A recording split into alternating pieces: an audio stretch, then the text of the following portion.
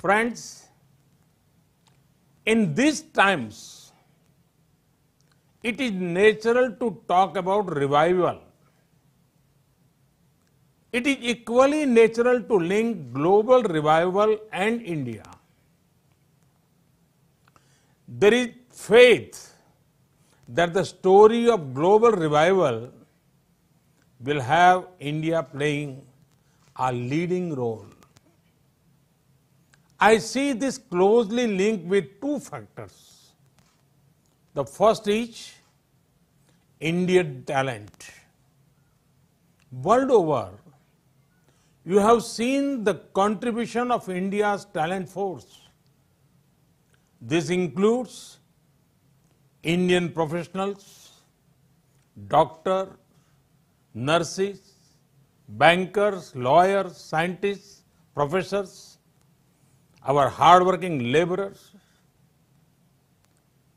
Who can forget the Indian tech industry and tech professionals? They have been showing the way for decades. India is a powerhouse of a talent that is eager to contribute and ever ready to learn. There is two-way synergy that is greatly beneficial.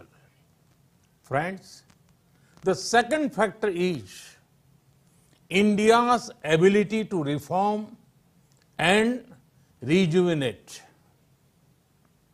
Indians are natural reformers. History has shown that India has overcome every challenge, be it social or economical. India had done so with a spirit of reform and rejuvenation. The same spirit continues now. Friends, on one hand, India is fighting a strong battle against the global pandemic. With an increased focus on people's health, we are equally focused on the health of the economy.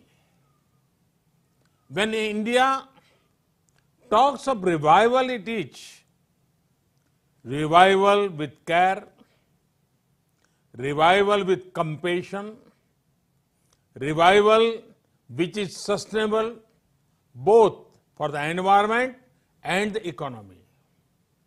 We in India belong to the culture where Mother Nature is worshipped by everyone.